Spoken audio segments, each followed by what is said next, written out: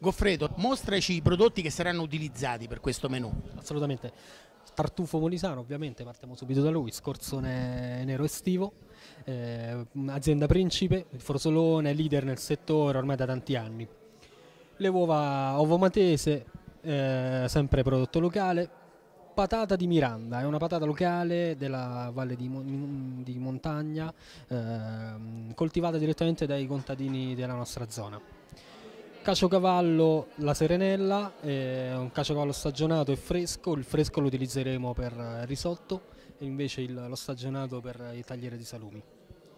Lì abbiamo la focaccia mirandese, classica focaccia del forno Blanz di Miranda, la scamorza passita del caseificio Santa Lucia, che sarà il nostro secondo piatto, il tutto condito dall'olio le drupe, eh, oleficio eh, aperto da due anni, eh, sempre mirandese, riqualificato da, dai ragazzi, da ragazzi giovani, veramente un grandissimo prodotto. La cosa interessante è che quest'anno, siccome il menù è senza glutine, utilizzeremo il riso, non pasta o, o, o altro eh, come primo piatto, un riso di qualità, eh, un fornitore con cui abbiamo sempre lavorato, tre anni di invecchiamento, ma soprattutto l'attenzione è spostata sul fatto che il menù è senza glutine all'origine, ma daremo come pane un pane di, eh, fatto artigianalmente qui a Isernia da, da Bate.